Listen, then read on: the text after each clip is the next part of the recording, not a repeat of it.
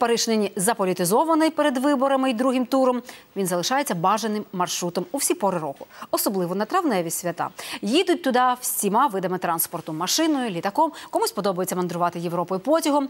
В Україні, за даними професійних експертів, автобусні тури набувають дедалі більше популярності як у зовнішньому, так і внутрішньому туризмі.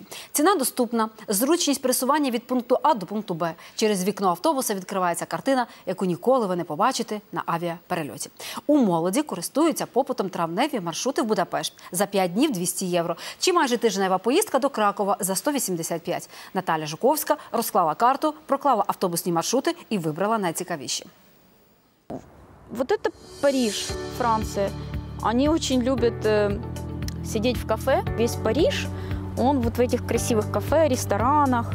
Франція, Німеччина, Чехія, Польща та Австрія це одні з останніх поїздок киянки Олени. Впродовж семи років вона двічі на рік намагається подорожувати Європою. Тури обирає саме автобусні, бо так каже і дешевше, і цікавіше. Мне нравится наблюдать, вот смотреть в окно. Это такой вот как элемент арт-терапии. За окном картина, они постоянно меняются. То вы проезжаете Польшу, то Чехию, то Германию, то Францию. Есть совсем чем сравнить. Те, що цікавість до автобусних турів зростає, відзначають і туроператори. Найбільше серед молоді. Популярні європейські маршрути Угорщина, Чехія, Італія та Голландія. Вартість відпочинку на колесах різна. Так з'їздити автобусом на травневі свята у Будапешт на 5 днів обійдеться приблизно в 210 євро. А шестиденна поїздка до Кракова 185 євро. Найбільш таким активним, найбільш популярним це є відпочинки в Польщі, тому що е, найбільш велика кількість віз відкривається саме е, для поїздок у Польщу.